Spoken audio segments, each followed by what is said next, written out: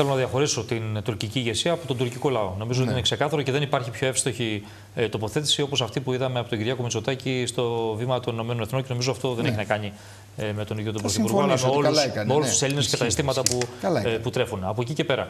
Ε, δεν συμφωνώ με την πρώτη παράτηρηση.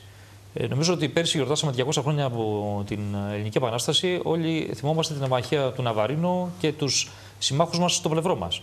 Ε, διαχρονικά, όταν υπήρχαν ζητήματα, το 22, διαχρονικά, όταν υπήρχαν ζητήματα ναι. που έχουν να κάνουν με μια ξεκάθαρη ε, επιθετικότητα, προκλητικότητα κτλ., οι σύμμαχοί μας ήταν στο πλευρό μας και ευτυχώς η χώρα μας σε όλους τους μεγάλους πολέμους ήταν στη σωστή πλευρά της ιστορίας. Αυτό έχει μεγάλη σημασία.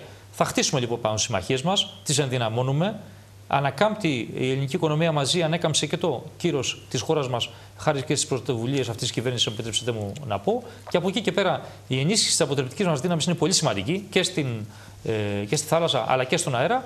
Και νομίζω ότι έχουμε τις δυνατότητες ε, να είμαστε σταθεροί σε αυτά που πιστεύουμε. Ναι, σεβασμό στο διάλογο, ναι, σεβασμό στο διεθνές δίκαιο, αλλά έτοιμοι όμως να αντιμετωπίσουμε οποιαδήποτε πρόκληση. Φοβάστε ότι μπορεί να συμβεί κάποια πρόκληση με βάση αυτές τις Νομίζω ότι πρέπει να προετοιμαζόμαστε για όλα.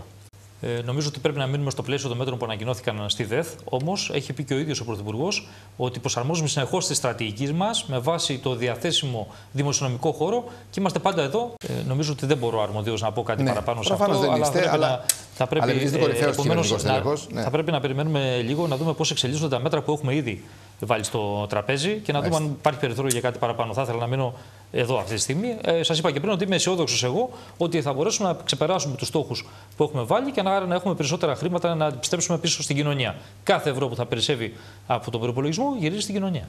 Εγώ ξέρω, εγώ ξέρω ότι ο κ. Τσίπρας είπε ότι είχε αυταπάτες ναι. εντός εισαγωγικών.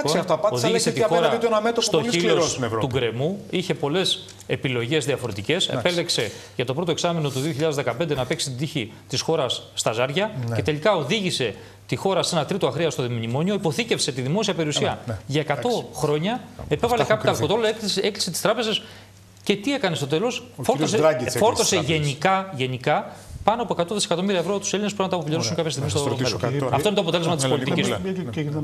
Κύριε Υπουργέ, στους επόμενους 8 μήνες θεωρητικά μέχρι τις εκλογές, πιστεύετε στο κομμάτι που αφορά αυτά που είπε και Σωτήρης, υπάρχουν τα περιθώρια να δώσει η κυβέρνηση είτε τη 13η σύνταξη, όπως τη λέει, ή κάποια μορφή στήριξης σε ΚΑΣ στους συνταξιού. Δηλαδή, αν δείτε τα τηλεφωνήματα που δεχόμαστε στην τρίτη πλειοψηφία, είναι από ανθρώπους που λένε δεν τα παίζουν πέρα με 400 ευρώ, δεν μπορούν να ζήσουν.